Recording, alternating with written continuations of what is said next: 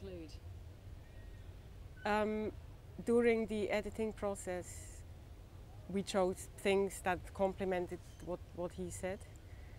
But it was clear from the beginning that I wanted to use, you know, Paris, Texas, obviously.